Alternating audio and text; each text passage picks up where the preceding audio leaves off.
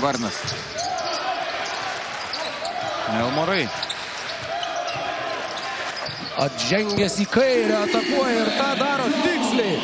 Jonathanas Elmoras na, toli gražu nekelia šiandieną. Jonas Elmoras ir dar trys Šiaulių komandos taškai. Kai įsibėgėja puolime Šiaulių 7bet ekipa, šiam sezone jie atrodo tiesiog įspūdingai.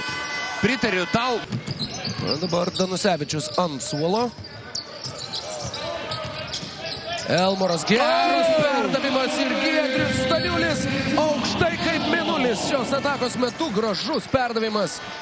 Tradicinis Šiaulių. Kojo aštuonis kamuolius po varžovų krepšių nevėžys, kai įprastai atkovoja beveik 10 per rungtynes, tačiau tai menka paguoda dar ir dėl to, jog labai daug galimybių dėl tų kamuolių kovoti patys po savo net. Timai per aukštai iškeltą varžovo ranką. Elmaras kaip suranda Besbradicą. Labai aukštai pakilo Jucikas, niekas nesureagavo, neatėjo į pagalbą. Tai turi pagalbą iš krašto. Iš, iš krašto ateiti. Jokios gynybinės rotacijos. Čia jau Čižauskas turėjo. į kitą pusę. Kitam krašte nieko nebuvo, dažnai komprotingai. Antra diena iš eilės, kai jau pirmoje rungtynių pusėje matom 16 taškų skirtumą. Tiesa, vakar tos rungtynės susiklostė taip, kaip e, vargiai įmanoma įsi savo kartos krepšininkų Lietuvoje. Reikėtų daugiau, daugiau noro, daugiau pastangų, daugiau darbo. Oi, vėl perdavimas. Ir Varna. Netgi su Varnu, kuris irgi aukštai labai kyla. Su tokia e, sudėtimi. Dauguma jaunieji žaidėjai, naujai atvykę į Nevežę ekipą. Elmaras šiandien drasko varžovų Keturi iš krepšį. keturių. Taip, keturi iš keturių. O iki Bando pasižymėti tritaškių metimas netaiklus. Ir vėl Aizėja Armudas tuo tolimu perdavimu inicijuoja dar vieną. 20 buvo rezultatas aikštėje, tad e, kiek tirpdo savo į deficitą Gedimino Petrausko auklėtiniai. Manau, kai kurie šiauliečiai jau netokie ne, ne susikaupę, pirmauja didžiuliu skirtumu. Elmoras e, šiandien tiesiog... Penktas, penktas tritaškis. Tai. O čia pramušti varžovų gynybą pavyksta Džonui Elmorui. Elmoras šiandien... Šūvis skirtumas mažėja iki 15 taškų. Na, įdomu, ar tikrai pavyks gintis Kėdainių nevėžioje antroje rungtynių dalyje. Čia Oi, oi, oi. Nepavyksta oi, pulti. Oi, oi, oi.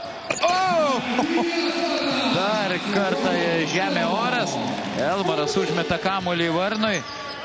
žemė Elmoras. Žemė Elmoras, taip. Tvirtosios rungtynės iš eilės, kuriuose Antanos Reikos auklėtiniai veikiausiai taip pat perkops 90 taškų ribą. Koks Elmoro perdavimas? Taip, gerai pastebėjai iš Šiaulė Elmoras. Fantastika. Taip, gera kūs. Jis jau yra surinkęs tuziną taškų.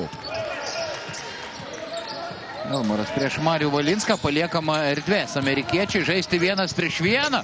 Wow! Jonathanas Elmaras išmaudo Marių Valinską, kuris tikrai neblogai gali gintis vienas prieš vieną. Šiaulių pozicinė ataka. Sabeckis dar vienas jo šūvis ir ketvirtas. Taiklus Donatas. Taip, 6 cm ūgio skirtumas tarp Murausko ir Sabeckio, 2 m 4 ir 98 m atitinkamai. Čia klaida. Elmoras iki galo. Jonathanas Elmoras.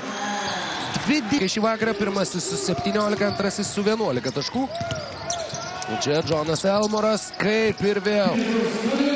Na, tiesiog meistriškai skaito žaidimą. Minas Petrauskas, jis stengiasi užsidengti veidą. Galima jį suprasti. Syla nepataiko.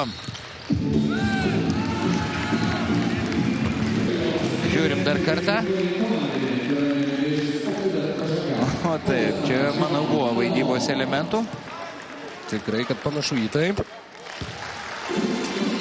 Tavo ūgio sugalvojo nuvažiuoti krepšinio stovyklą ir štai galiausiai atsidūrė Kedainiuose. Giedrius Staniulis. Ideali, ideali šiauliečio ataka. O visai neseniai Canka pataikė tritaškį nuo lentos. O dabar reikės turbūt kitaip e, organizuoti gynybą. Besbradica po Elmoro perdavimo dar vienas Šiaulių komandos tritaškis plus 23 ir Gediminas Petrauskas stabdo žaidimą, kadangi jo komanda na jau